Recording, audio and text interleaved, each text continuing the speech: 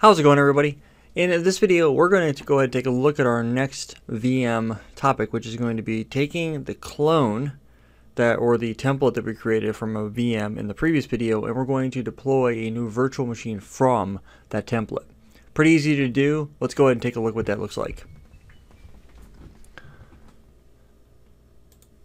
Alright, so we're here on our desktop. What I'm going to go ahead and do from here is I'm going to click on this template and I can right click on it and I can say new VM from this template if I want to. That's an option if I wanted to use that. Or I can go back over here to my my data center. I can right click here and say new virtual machine. And then I can say deploy from template. Click on that, click next, and then choose a template from the data center. And if I, I don't have a content library yet, we'll talk about that later. But if I was to expand compute, we have this template sitting right there. I'm going to click next. It says, what do you want the name uh, to name this VM? It's going to be called Linux 2. We're going to put it in the compute data center. Click next. It's going to ask us which host do you want to put it on. I'm going to go ahead and put this on host 3. And what we're going to do as we move forward with this setup, let me take a jump back over to the camera real quick. What we're going to basically do as we move forward is we're we've taken a look at converting a VM to a template, and now we're going to deploy a template or a VM from this template. So we're going to use it for its automation capability. What we're going to do in follow-on videos is we're going to take this environment to the next level by turning on what they call a cluster and turning on capabilities known as DRS, Distributed Resource Scheduler. We're going to take a look at high availability between our ESXi hosts and how all that type of stuff will work. The cool thing about this is when we turn DRS on and we have HA turned on and things like that, what will end up happening is when we go to deploy a new VM and you turn DRS on, this need to pick which host you're going to deploy that VM on goes away you can turn DRS to be fully automated, so it'll just pick whatever host happens to be least utilized at that point in time. So pretty cool stuff. Let's go back over to the desktop and talk about the rest of this. So I'm going to go ahead and flip back over here. All right, so I'm going to choose host 3. I'm going to click next.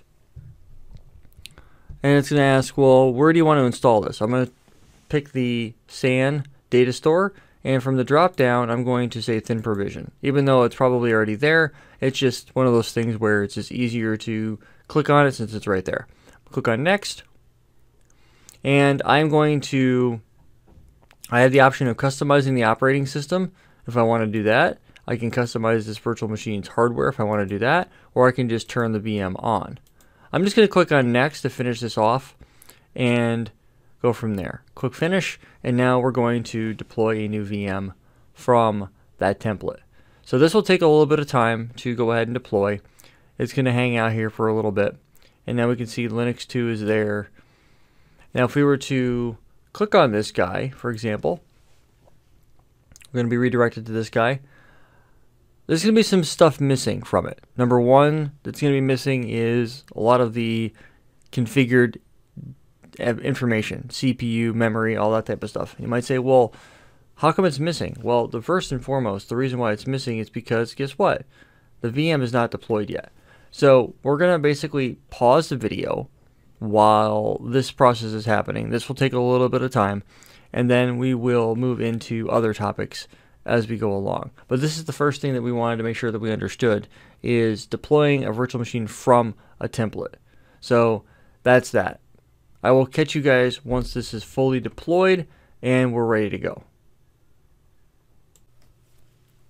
Alright, Linux 2 is finally fully deployed and ready to go. Now we can go ahead and actually power it on.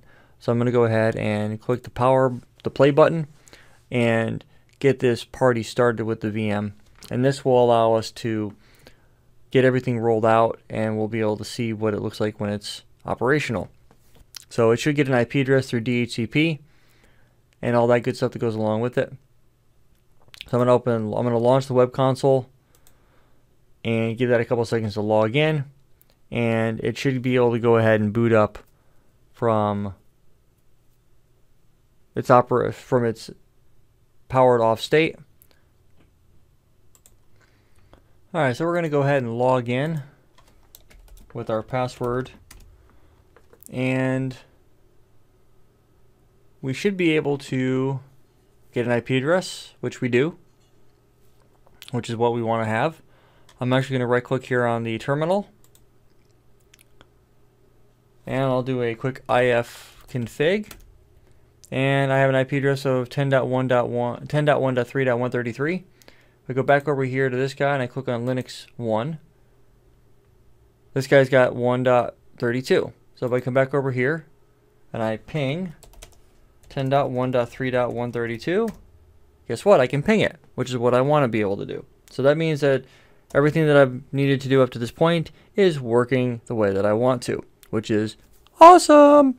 So that is that, ladies and gentlemen. Not a whole lot more to the process than that. With that being said, I want to thank everybody for hanging out with me in this video. And until next time, guys, take it easy.